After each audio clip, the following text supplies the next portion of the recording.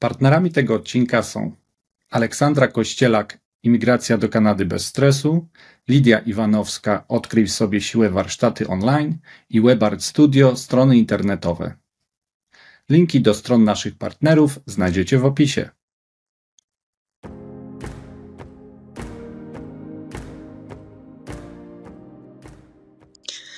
Cześć, witam wszystkich na kanale Kanadyjczycy. Dzisiaj o życiu w Tanzanii porozmawiamy z Dagmarą. Cześć Dagmara, jak się masz?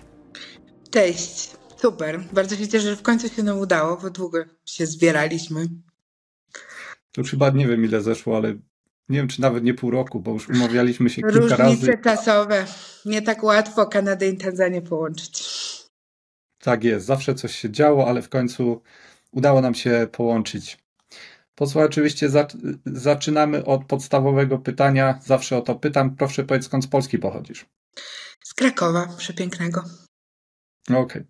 Powiem Ci ostatnią rozmowę też, co, którą robiłem, też osoba była, była z Krakowa. Ja też a, mieszkałem przed wyjazdem do Stanów Zjednoczonych, mieszkałem też w Krakowie przez dwa i pół roku, a ja jestem w ogóle z Jędrzejowa, to pewnie jak jesteś z Krakowa, to pewnie ko kojarzysz Jędrzejów. Mhm. Ja mieszkałem na Białym Prądniku. To ja z Nowej Huty w Nowej Hucie urodzona, a potem rodzice przeprowadzili się, jak poszłam do szkoły, do Modlnicy, zaraz pod Krakowem kawałek, więc z przedmieścia. Super. Mam wujka, który mieszka tam niedaleko. Więc... No, ale Kraków, piękna sprawa. Tak, no, moim zdaniem najpiękniejsze oczywiście miasto, miasto w Polsce. Tak, zdecydowanie. I klimat nieporównywalny. Zgadza się. Ale teraz oczywiście mieszkasz w Tanzanii. Proszę powiedz, jak już długo tam mieszkasz? E, w tym roku, w lipcu, dokładnie w moje urodziny, będzie 5 lat, ponieważ moje pierwsze kroki w Mambo to było 15 e, lipca, ale to tak wtedy przyjechałam. 16 są moje urodziny, to był mój pierwszy pełny dzień.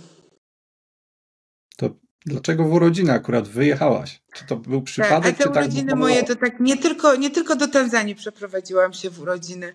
E, do Maroka, w którym wcześniej mieszkałam przez 9 lat, też pierwszy raz leciałam, co prawda nie na przeprowadzkę, ale na wycieczkę, która potem poskutkowała przeprowadzką. Również leciałam w moje urodziny, więc coś mam z tymi, z tym, z tymi zmianami życiowymi, życiowymi przeprowadzonymi w tym czasie.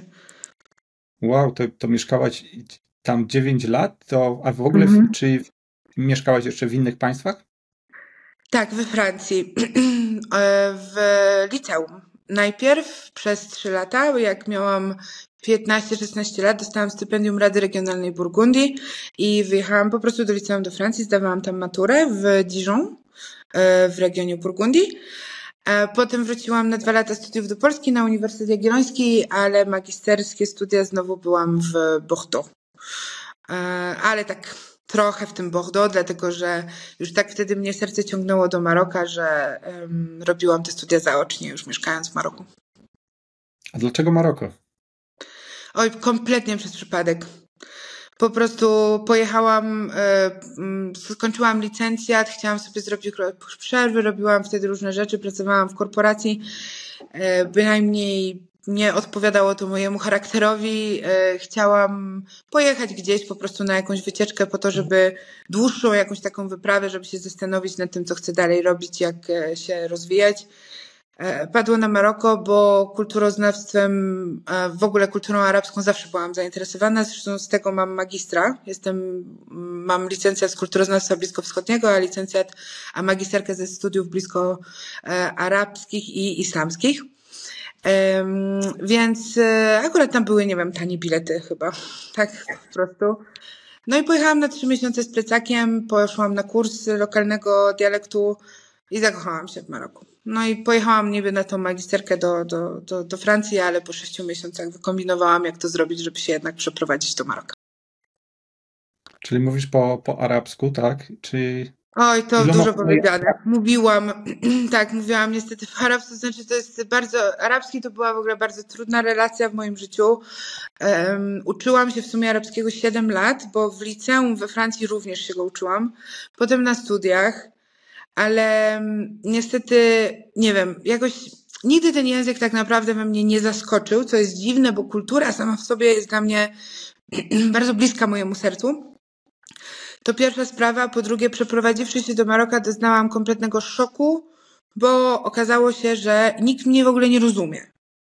Ponieważ każdy kraj arabski ma swój dialekt. Im bardziej tak. oddalony od Półwyspu Arabskiego ten dialekt jest jeszcze bardziej różny, tak? I to już nie jest kwestia jakiegoś akcentu, czy tam niektórych słów inaczej wymawianych, tylko naprawdę po prostu innego słownictwa, innej gramatyki, innego sposobu wypowiadania się. I strasznie mnie to irytowało w tym Maroku, że ja próbuję coś mówić, tego języka, którego i tak nie szło mi uczyć się z łatwością, o powiedzmy, e, a nikt mnie nie rozumie, albo ludzie mnie rozumieją, ale odpowiadają w swoim dialekcie, albo się w ogóle ze mnie wyśmiewają, że wołają w ogóle kolegów, ej ty chodź posłuchać jak ona mówi, nie? E, I i po prostu zrezygnowałam, dlatego że Maroko jest również krajem francuskojęzycznym, tak? A ja francuski jest tak. moim pierwszym językiem obcym. E, więc e, po prostu przyszłam na ten francuski, bo mówienie po francusku w Maroku nikogo nie dziwiło. Nikt się z ciebie nie wyśmiewał, nikt w ogóle nie zwracał na ciebie uwagi, no bo tam mnóstwo Francuzów mieszka. No i tak zostało. Więc w sumie mieszkałam przez 9 lat w, kraju, w kraju arabskojęzycznym i w ogóle nie mówiąc po arabsku tak naprawdę. Dialektu marokańskiego oczywiście się w, między, w pewnym czasie nauczyłam, znaczy rozumiałam, ale bardzo rzadko kiedy mówiłam więcej niż parę słów.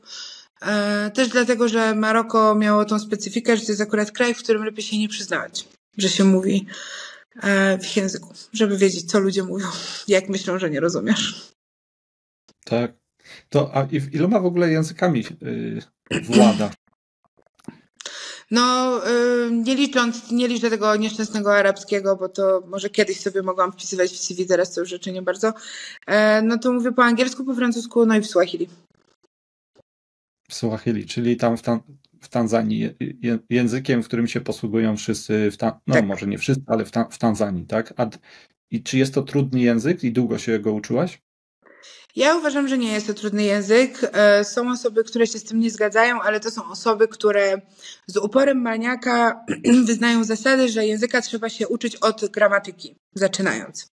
I Swahili faktycznie, jeżeli chciałbyś się nauczyć od gramatyki, wziąć książkę i przeczytać, jak zbudowany jest ten język, to pewnie większość ludzi się przerazi, bo jest zupełnie inaczej zbudowany niż jakikolwiek inny język, z którym ja miałam styczność.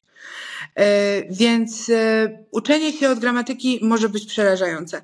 Natomiast ja się nie uczyłam od gramatyki, ja się uczyłam od dzieci. Ja zaczęłam realizować w Tanzanii projekty edukacyjne dla dzieciaków, które całkowicie spontanicznie, w ogóle bardzo organicznie się rozwinęły. W ogóle nie taki był mój plan i założenia. No i nagle się okazało, że siedzę po prostu z dziećmi i muszę je uczyć matmy. E, no i trzeba się było nauczyć. No więc zaczęłam się uczyć z dziećmi od po prostu mówienia, zdań, słów, wyrażeń i tak dalej, a potem od czasu do czasu wieczorem otwierałam książkę i zaglądałam tak, że okej, okay, nauczyłam się takich dwóch zdań, jak to rozkminić gramatycznie, tak, żebym sama potrafiła takie podobne zdanie stworzyć, nie? I uważam, że jeżeli taką przyjmie się strategię, to można się nauczyć Swahili w rok. Ja nie mówię jeszcze tak, jakbym chciała mówić, bo nie mam czasu po prostu, bo robię strasznie dużo różnych rzeczy i nie mam właśnie czasu na to, żeby poświęcić parę miesięcy na takie porządne usystematyzowanie, właśnie sprawdzenie sobie zagadnień gramatycznych i tak dalej, ale myślę, że dwa, dwa lata już będę mówić tak, jak chcę. Tak jest. Z czasem przyjdzie, przyjdzie samo. A mhm. dlaczego w ogóle wybrałaś Tanzanię? Dlaczego tam wyemigrowałaś? Również kompletnie y, nieplanowane to było. Tanzania nigdy nie była na jakiejś mojej, nie wiem, bucket list krajów, do których chciałam y, się przeprowadzić. Chciałam wyprowadzić się z Maroka w pewnym momencie. Po mniej więcej 7,5 latach mieszkania tam podjęłam decyzję, że chciałabym się przenieść z Maroka. Maroko stało się strasznie komercyjne, bardzo nastawione na turystykę masową. Po prostu wiele rzeczy przestało mi się tam podobać.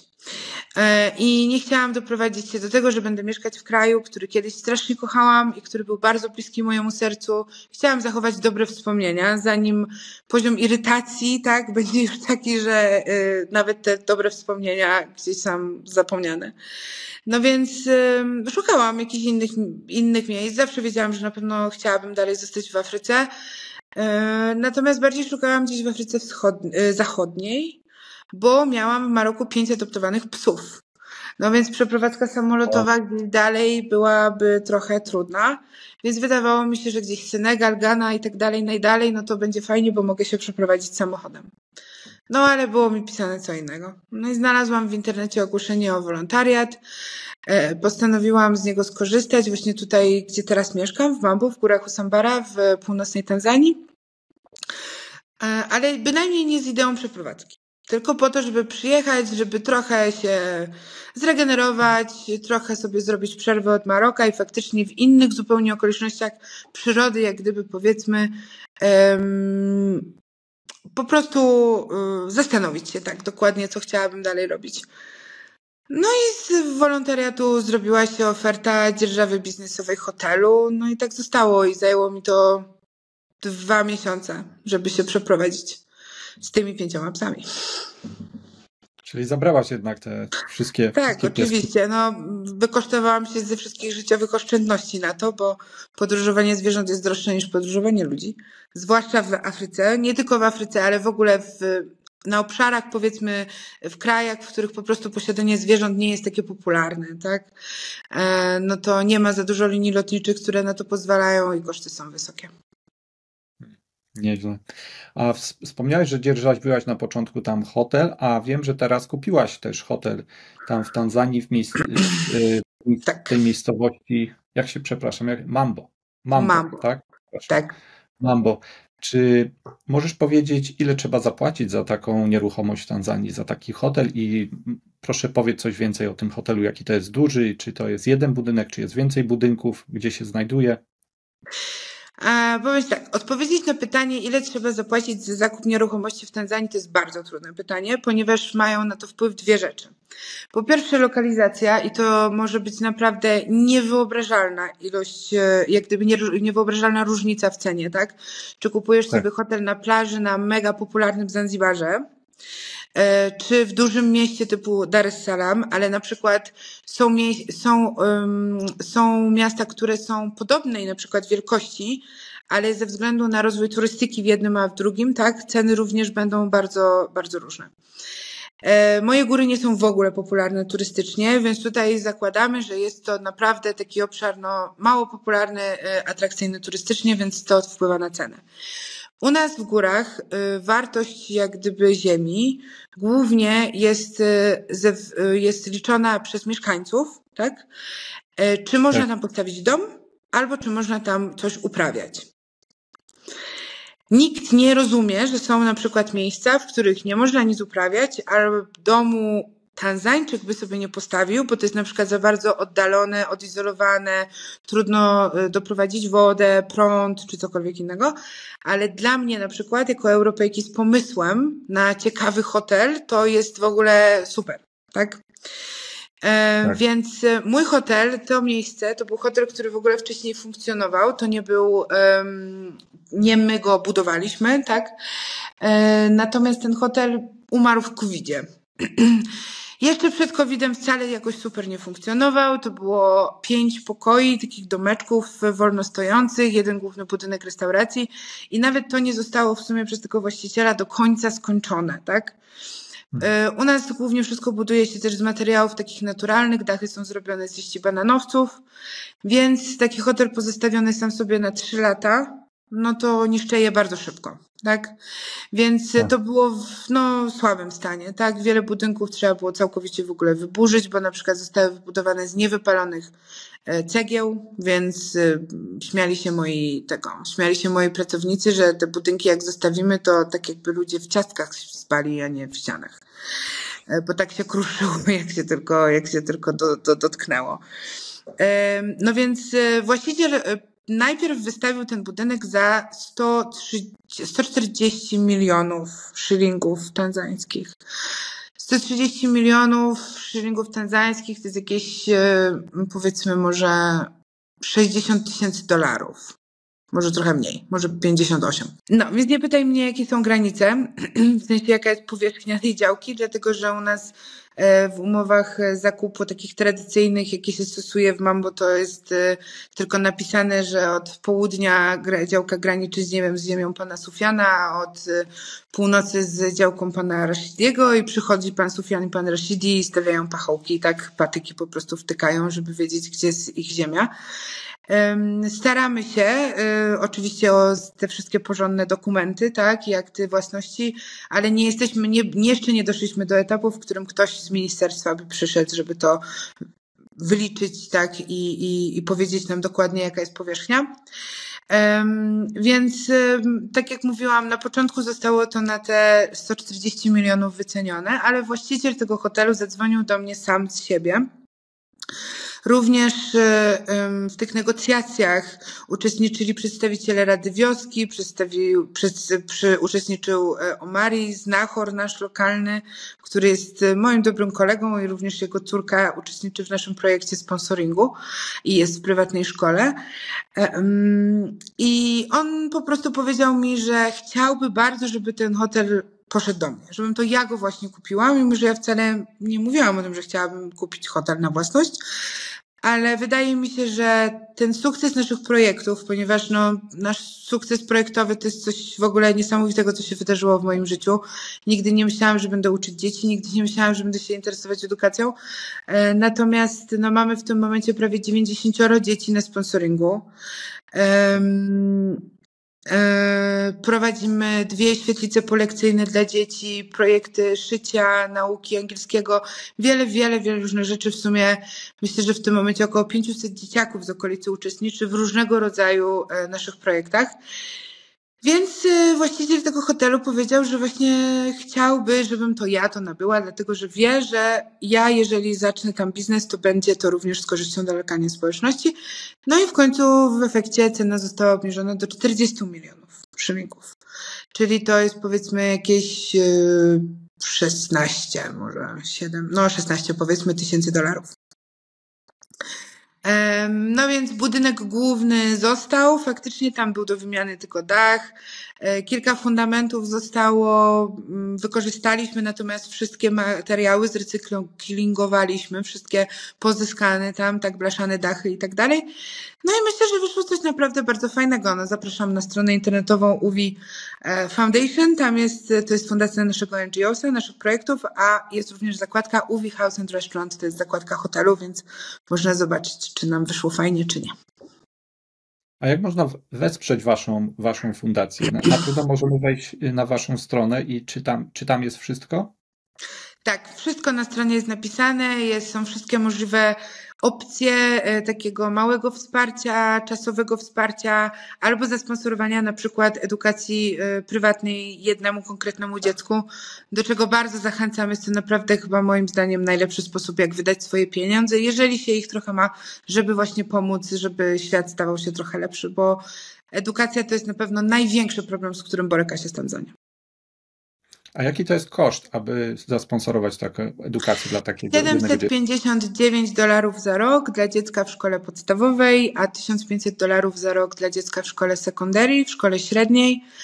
E, no i przede wszystkim trzeba wiedzieć o tym, że jest to zobowiązanie, tak? Że to nie jest, e, to nie jest jednorazowa wpłata, to jest zadecydowanie, że przez lata, tak? Będzie się wspierało edukację takiego młodego człowieka.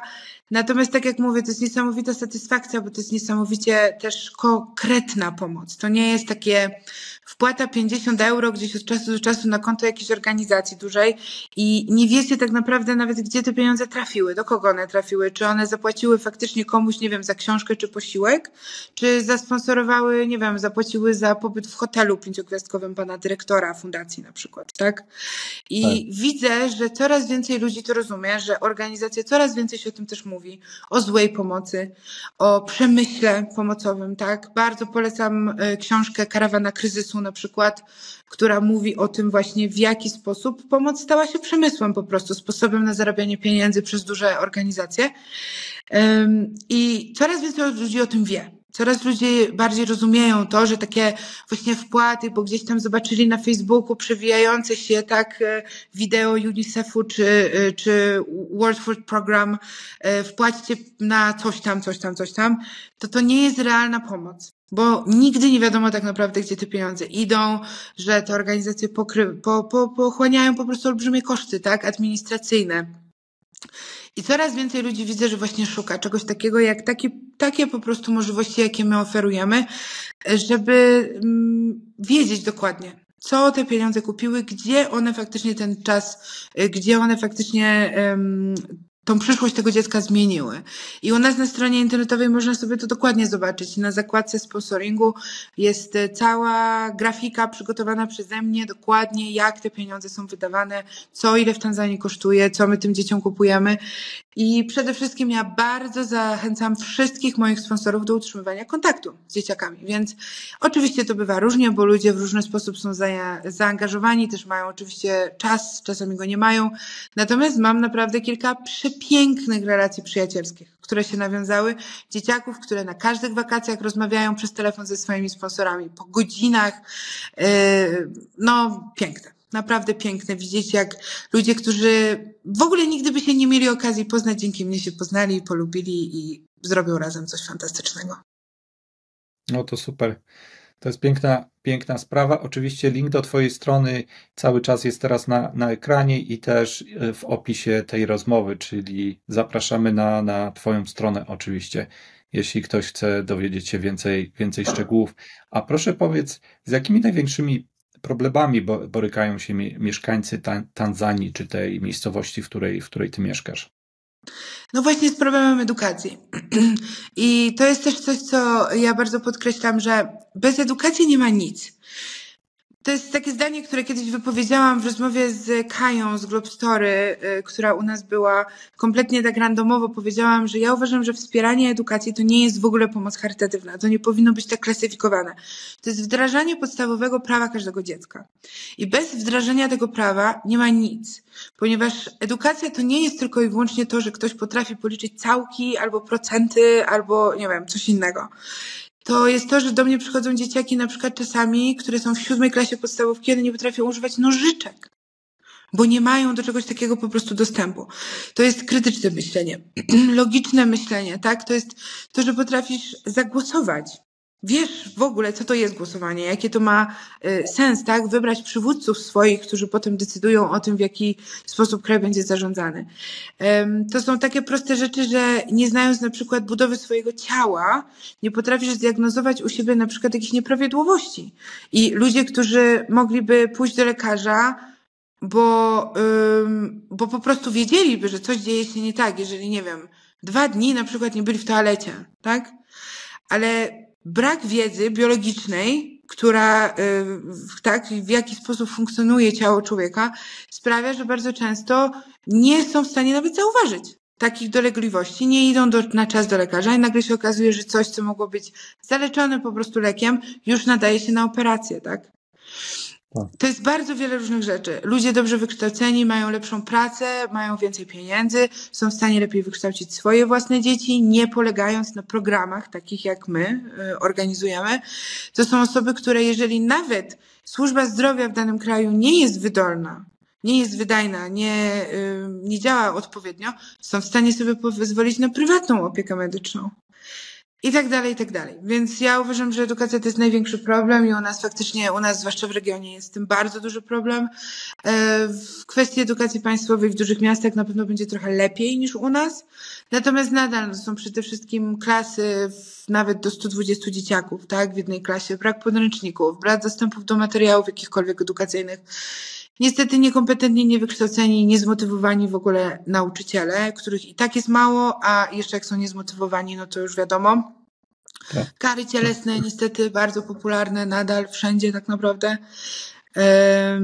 No i to jest problem, tak? Ponieważ dzieciaki nie są zmotywowane, nauczyciele nie są zmotywowani, rodzice nie potrafią motywować, bo sami dobrego wykształcenia nie odebrali. Więc to jest taka trochę e, zapętlająca się sprawa ale mam nadzieję, że w końcu będą jakieś zmiany, ponieważ w zeszłym roku w końcu pojawiła się wyczekiwana przez bardzo długi czas reforma edukacji w Tanzanii. Nie wiem, ile czasu zajmie im, żeby faktycznie wszystkie te postanowienia wprowadzić w życie, ale na przykład obowiązkowość szkoły średniej, minimalny wiek pójścia do szkoły i tak dalej, i tak dalej bardzo wiele rzeczy zostało wprowadzonych, których wcześniej nie było i które były naprawdę dużym problemem, bo na przykład brak obowiązkowości szkoły średniej powodował, że u mnie w regionie Guru Sambara około 70% dzieci kończyło edukację na etapie szkoły podstawowej. No.